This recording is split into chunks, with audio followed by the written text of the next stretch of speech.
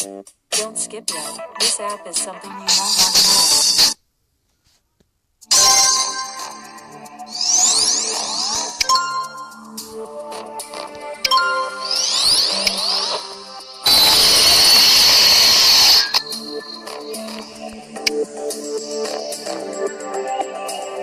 Thank